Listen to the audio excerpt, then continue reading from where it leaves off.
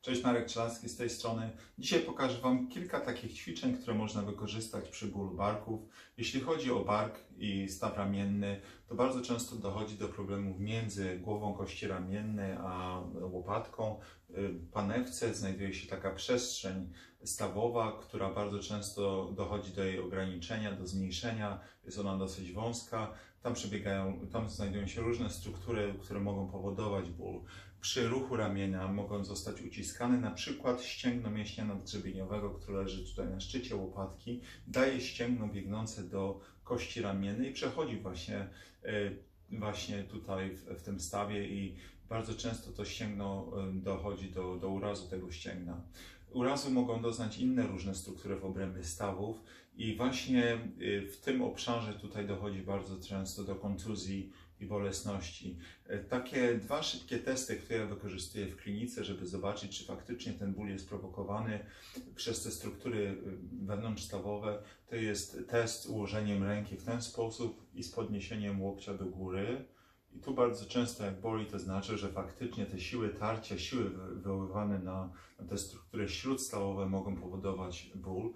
Drugi test to jest test, test um, uniesienia ręki w ten sposób. Jeśli już na tym poziomie ból powstaje już i po prostu a przechodzi tutaj mniej więcej, to znaczy, że podobnie w barku dochodzi do takiego e, sił tarcia i problemów z kontuzją.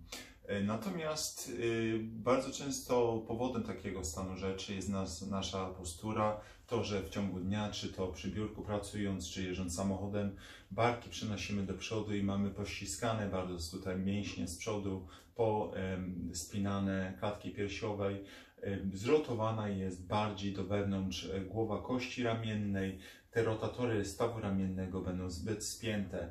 Także w rehabilitacji wykorzystuje się kilka rzeczy rozciąganie klatki piersiowej, przeniesienie barków do tyłu, jak również zrotowanie tej kości ramiennej i wzmocnienie mięśni rotującej kość ramienną na zewnątrz, tak zwanych zewnętrznych rotatorów kości stawu ramiennego.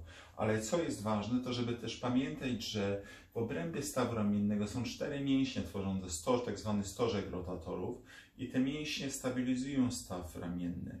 Mięśnie, które potrafią bardzo często być bardzo pospinane, osłabione e, i powodują właśnie zmniejszenie przestrzeni stawowej w stawie ramiennej, ramiennym i to samo z siebie również daje objawy, może dawać objawy bolesności. Także są trzy ćwiczenia, które ja zalecam pacjentom. Pierwsze ćwiczenie to jest wzmocnienie właśnie zewnętrznych rotatorów.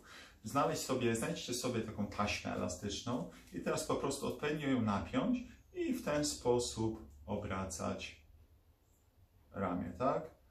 Można w tą stronę szybciej i powoli ten skurcz ekscentryczny, tak zwany rotatorów zewnętrznych, będzie też bardzo mocny.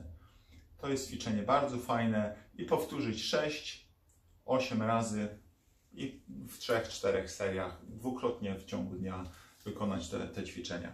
Następne ćwiczenie, które bardzo lubię, jest bardzo oryginalne. To jest ćwiczenie z uciskiem na ławę czy na stół, w ten sposób ręki po stronie właśnie bolesnego barku, ucisnąć w dół rękę i powoli cofać się do tyłu. I z powrotem.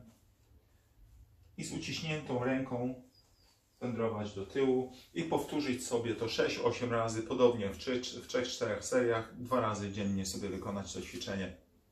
I trzecie ćwiczenie, to już bez żadnego, żadnej pomocy, ustawienie rąk w ten sposób, odwrócenie, zrotowanie na zewnątrz i przeniesienie barków do tyłu, otworzenie klatki piersiowej, rozciągnięcie mięśni piersiowych i łączenie łopatek z tyłu. Przytrzymać 5-6 sekund i delikatnie rozluźnić. Powtórzyć ponownie 5-6 razy w 3-4 seriach, dwa razy dziennie znowu wykonać. Także to były takie trzy ćwiczenia, e, które ja zalecam pacjentom.